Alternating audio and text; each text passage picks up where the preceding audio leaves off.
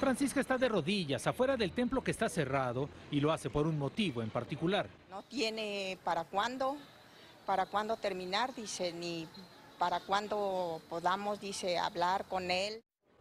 Se trata de esta imagen del niño Jesús llamado el Santo Niño Doctor, pero adentro también están las imágenes del niño de la pandemia y el llamado niño COVID que ahora le rezan los feligreses a puerta cerrada porque los contagios por coronavirus en esta comunidad de Puebla siguen en alza.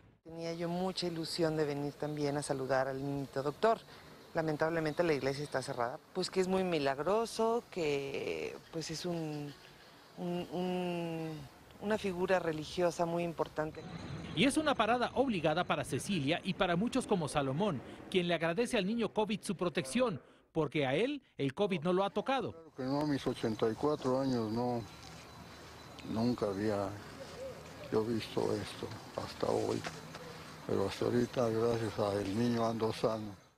Y otros aseguran que se han salvado de la enfermedad de milagro, porque todos en el pueblo parecieran tener algo conocido con el coronavirus. Un hijo que se enfermó mucho y lo encomendamos al niño doctor. Salió bien de terapia intensiva, venimos cada que podemos. Aunque el templo está cerrado desde hace cinco meses, la fe no tiene barreras y los creyentes se las ingenian para hacer sus oraciones a la figura.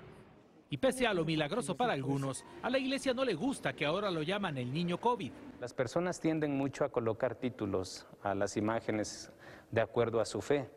Nosotros aquí desde luego eh, veneramos a esta imagen hermosa y milagrosa de Jesús. La cifra de muertos, de contagios y saturación en hospitales no cede en México y precisamente en Puebla, donde veneran a este niño, es uno de los lugares más afectados por el virus. En Ciudad de México, Iván Macías, primer impacto.